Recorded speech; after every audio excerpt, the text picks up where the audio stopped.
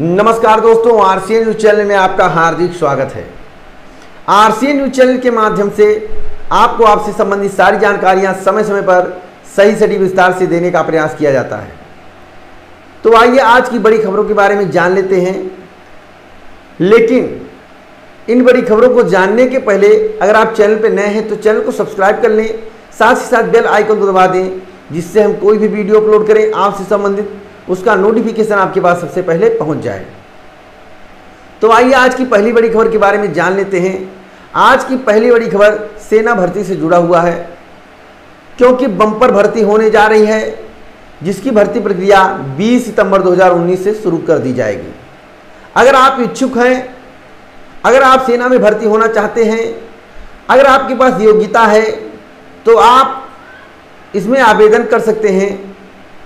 साथ ही साथ जो भर्ती प्रक्रिया पहले राजधानी में होती थी, लखनऊ में होती थी, वह भर्ती प्रक्रिया अब की बार फतेहपुर में होगी, जो रक्षा मंत्रालय से जानकारी प्राप्त हुई है।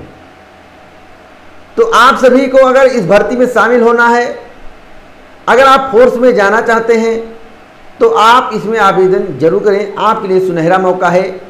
लखनऊ समेत तेरह जिलों को इसमें शामिल किया गया है।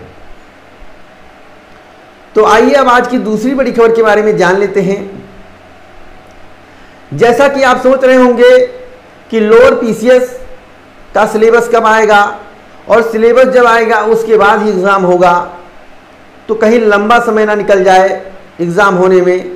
तो मैं आपको बता दूँ लोअर पीसीएस 2019 का सिलेबस जुलाई के प्रथम या द्वितीय सप्ताह तक घोषित कर दिया जाएगा।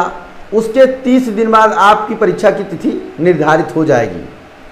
तो जो संभावना जताई जा रही है कि अगस्त के द्वितीय सप्ताह या तृतीय सप्ताह में आपका एग्ज़ाम कंडक्ट करा लिया जाएगा। तो आप लोग अपनी तैयारी जारी रखें। जो मंडी परिषद का पेपर था और जो ग्राम पंचायत अधिकारी का पेपर था। अगर उस तरह की आप तैयारी कर लेते हैं तो आपका लोअर पीसीएस 2019 निकल जाएगा। आपको घबराने की आवश्यकता नहीं है। अब आइए आज की तीसरी बड़ी खबर के बारे में जान लेते हैं। आज की तीसरी बड़ी खबर है लेखपाल भर्ती को लेकर। बहुत से अभ्यर्थी पूछ रहे हैं कि सर लेखपाल भर्ती कब तक आएगी? तो जो सूचना प्राप्त हुई है कि लेखपाल भर्ती जुलाई के अंत तक मतलब 21 से 28 जुलाई 2019 के बीच आ जाएगी। 21 से 28 जुलाई 2019 के बीच आ जाएगी। आप तिथि नोट कर लीजिए। अब आइए आज की चौथी बड़ी खबर के बारे में जान लेते हैं। आज की चौथी बड़ी खबर है कि वीडियो रिज़ल्ट कब तक आएगा? अभ्यर्थियों के मन में संशय बना हुआ है। तो मैं आपसे बता दूँ, परीक्षा नियंत्रक सॉरी सचिव द्वारा बोला गया है कि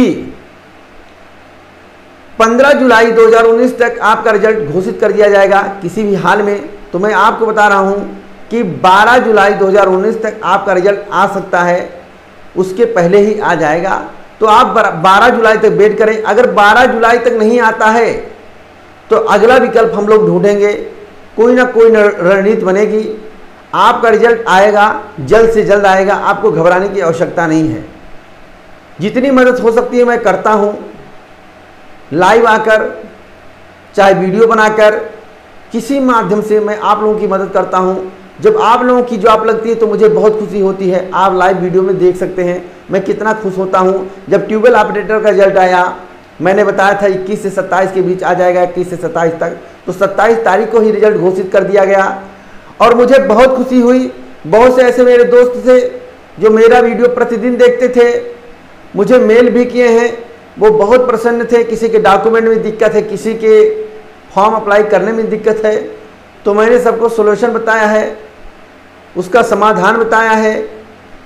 तो आप लोग भी हमसे लाइव चैट के माध्यम से प्रश्न कर सकते हैं। अगर आपके डॉक्यूमेंट में प्रॉब्लम है, आपको किसी तरह की समस्या हो रही है डॉक्यूमेंट संबंधित, या आप किस क्षेत्र में जाना चाहते हैं, वह क्षेत्र कैसा है, अगर किसी बारे में जानकारी आपको चाहिए तो आप हमसे लाइव चैट के माध्यम से पूछ सकते हैं।